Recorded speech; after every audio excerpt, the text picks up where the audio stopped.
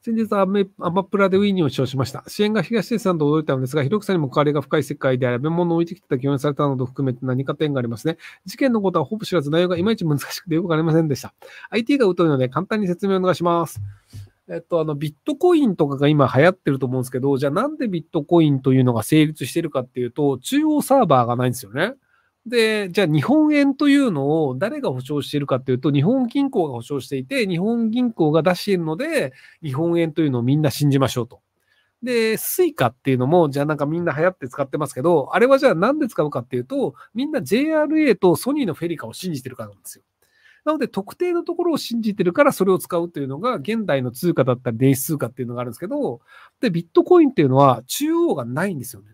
中央がないがゆえに逆にコントロールされないよねっていうところで流行ってるところなんですけど、じゃあその中央がいない状態でコントロールするのってめちゃくちゃ難しくね？っていうのを、あの、多分僕が知る限り世界で大規模で実用化した初の例というのが Winny なんですよ。あの、小規模なもので、あの、そこまで役に立たないけど、まあ使われてるよねっていうのだと、 Kazaa だったりとか、あの EMX みたいなのもあったりするんですけど、でもその中央集権が全くない状態で、あ、JRA は競馬ですね。すいません。JR ね。はい。なので、あの、JR 東日本とかを信じてるから Suica 使ったし、JRA じゃないです。はい、すいません。っ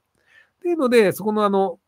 本来じゃあ中央集権しない形に行くとデータの信用性っていうのが失ってしまうよね。要は仮想通貨っていうのも、じゃあ俺がじゃあ1万ビットコイン持ってるぜっていうで、じゃあ他の人なんかじゃあ死んだ魚をしてるおっさんとかが、じゃあ俺2万ビットコイン持ってるぜって言い張ったとして、どっちが正しいかっていうのってわからないじゃないですか。なので、じゃあ全世界の人が同じように通帳を持っちゃえばいいんじゃねっていうので、みんなが通帳を持ってますと。世界中の人がいくら持ってるかというのを書いてある通帳を持って、例えばじゃあその通帳を10万人が持ってたとしたら、その死んだ魚のようにした人が、じゃあ俺100万ビットコイン持ってますって言っても、いや、俺の通帳にはそんなの書いてねえよって言ったら、こいつ嘘つきだってわかるじゃないですか。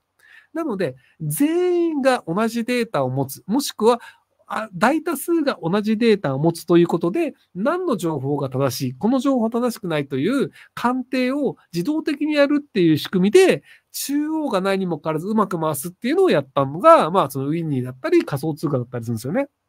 で、まあ、それができないので、基本的にはな多くの国家の場合は、じゃあ偽札かどうかっていうのを割とその国の政府というものが調べたりして、で、あの、通貨の流通量というのを政府が、あの、こうコントロールしたりするんですけど、政府が信用できないと、その国って役に立たないよねっていうので、その通貨っていうのが紙切れ同然になってしまうと。なので、あの、ジンバブエっていう国だったりすると、あの、なんか、100億ジンバブエドルみたいなのが10円みたいな、なんかそういう感じになっちゃったりするんですけど、っていうので、その、要はその政府が信用できなかったり、中央銀行が信用できないと、そこのその通貨自体も価値が下がってしまうんですけど、そのビットコインだったりっていう仮想通貨の場合は、その、そこに関わる全員がなんとかそこのシステムをこう維持しようとするので、結果的にうまく回るよねっていうのの、まあ、一番最初に作ったのが金子勇さんっていう人なんですけど、あの、どうでもいい理由で京都県警に逮捕されてしまって、で、あの、映画の中でも触れてなかったんですけど、あの、金子勇さんが悪いという形にしたのって、あの、京都府警が京都府警の流出をやってたからなんですよね。京都府警がそのウィーに使ってる人がいて、で、そこで流出した情報とかがあったりして、で、これが情報流出したのって金子さんのせいじゃなくて、京都府警のせいだよねっていうのなんですけど、でも金子勇が悪いということで、とりあえず捕まえてウィニーをなくしてしまえば、なかったことになるんじゃね？えっていうので、まあ金子さんが捕まり、で、あの、金子さんをこう裁判に持ってったんですけど、結果としては金子さん無罪になってしまったんですけど、まあ、なんだかんだ言って、その診療が立ったのかわかんないですけど、あの、無罪判決を受けた2年後に金子さんが亡くなってしまうっていう。っていうところで、あの、すごく優秀な人を日本は失ってしまいましたよって話です。で、それの主演を、あの、東出正宏さんっていう、あの、身長が188センチあるイケメンがやってるんですけど、で、金子さんって全然イケメンじゃない、あの、ちっちゃいおっさんなんですよ、小太りの。で、あの、ちっちゃい小太りのおっさんを東出さんが演じてるんですけど、あの、金子さんにめちゃくちゃ似てるんですよね。あの、似てるの定義がちょっと難しいんですけど、あの、金子さんの役を演じる東出さんを見た人は割と、あ、金子さんに似てるってみんな言ってるんですよね。僕とか男先生とか。で、その、金子さんのお姉さんが、あの、お姉さんじゃないか、親族の人が、東出さんに会った時に、その、あの、イサムにまた会えた気がしました。ありがとうございますって言ったって話があって、やっぱりあれ見ると、あ、金子さんだわって思っちゃうんですよね。